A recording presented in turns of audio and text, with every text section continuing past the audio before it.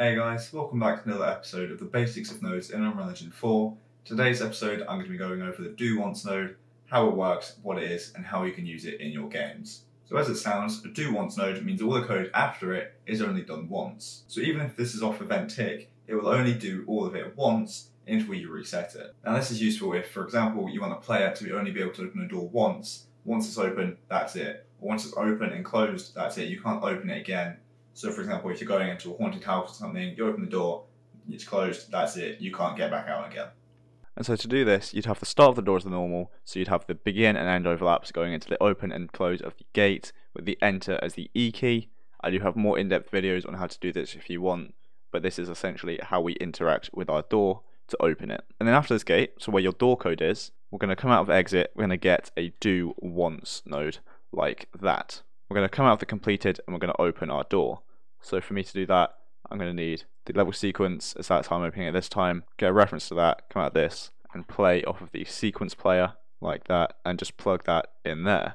So now, when we open our door, it's only going to play this animation once, so we'll only open the door once. So if we compile and test this, you see that if we hit play, and go over here, and we press E, the door will open. Now if we press E again, nothing's happening. So we can open the door, but we can only do this once. So we press E, the door opens, however this is only doing this once. If we continue to try, nothing will happen. However, you can reset this, so if you want to be able to redo this code, for example opening door, you can. So for example, if we have a key press to reset it, we can do that. So I'm just going to use the K keyboard event to be able to do that at the moment. So I just get that like so, I'm going to come out of press, I'm also going to get a print string just saying reset, just so I am aware that is what I'm doing. And I'm just going to plug this code into the reset input on the do once. So essentially anything that goes into the reset is what needs to happen to obviously reset this node. So we have that now. So if we again compile and try this again. Now if I open the door, it does this. So as normal, if we try it again, nothing happens.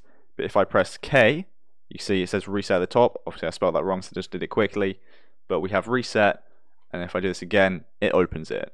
So obviously it's just doing the open animation because I've just set this up very quickly but that works. So we can't do this anymore. We've done it once. We've reset. We can now do it again as many times as we want as long as we are resetting it. But again once we reset it we can only open it once more. Then I'll need to reset it again. And you can reset it with anything. It doesn't just have to be a button press. It can be a box collision a variable which is true or false or even so many seconds after you open the door for the first time.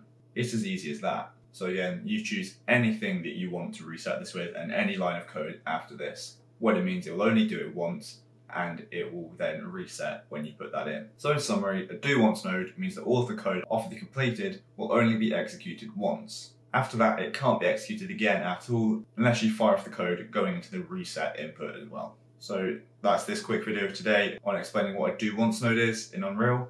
So I hope you enjoyed and hope you found it helpful and make sure to leave a comment down below on any future recommendations or requests on which nodes you'd like covering and on how I can improve these videos at all if they need improving. So I hope you enjoyed and hope you found it helpful. And if you did, make sure to like and subscribe down below. So thanks so much for watching and I'll see you in the next one.